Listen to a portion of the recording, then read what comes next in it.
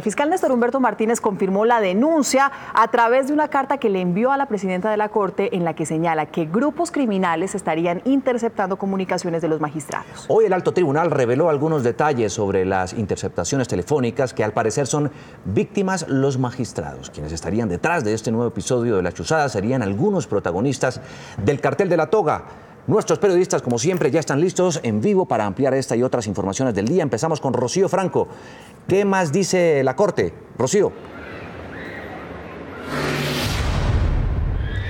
Pues eh, la magistrada, la presidenta de la Corte Constitucional dice que es muy preocupante la situación porque las interceptaciones ilegales estarían originadas en que estas personas estarían buscando información personal de los magistrados, con quién hablan, con quiénes se reúnen, de qué hablan, con el fin de presionarlos para algunas decisiones judiciales. Dice la Corte que todo al parecer está motivado por una tutela, que no tienen información exacta sobre qué tutela es, pero hay algunos indicios que tendría que ver sobre el cartel de la toga, aunque han hecho un barrido y no han encontrado una tutela que esté a la espera de ser fallada. Esto fue lo que dijo la presidenta de la Corte Constitucional.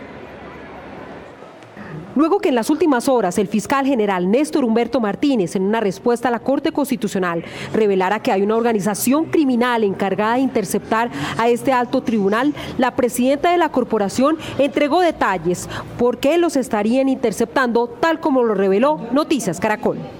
Al parecer están tratando de conocer datos personales nuestros para efectos de incidir en la toma de decisiones en los en los procesos de tutela que están siendo objeto de conocimiento de la Corte. Lo que no tienen claro ni los magistrados ni la Fiscalía son la motivación de las interceptaciones. Parte de los indicios de la investigación están relacionados con una tutela, pero no se conoce exactamente cuál de tantas sería, aunque se estarían evaluando las relacionadas con el llamado cartel de la toga. Hicimos un barrido, eh, Luis Gustavo Moreno presentó una acción de tutela en el año 2016 contra la Superintendencia de Vigilancia Privada. Al parecer no tiene que ver con estos datos.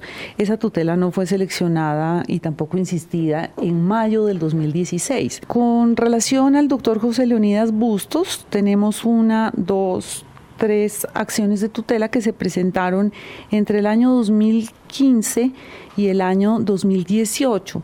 Esas tres tutelas no fueron seleccionadas ni tampoco insistidas por los magistrados. La magistrada señaló que no hay una pista certera sobre qué originó estas interceptaciones, afirmación que también hizo el fiscal general. Inclusive el fiscal general dijo hoy que las investigaciones indican que habrían intentado hacerle brujería a los magistrados. Concluyen los analistas que esto es con propósitos extorsivos e inclusive respecto de uno de esos magistrados con quien me comuniqué y le di detalles específicos de los hechos, se habla del propósito de llegar al fondo, inclusive de hacerle hechicería. Incluso se sabe que los teléfonos de los magistrados serán revisados, situación que va a ser coordinada luego de una reunión entre la presidenta de la Corte Constitucional y el fiscal del caso.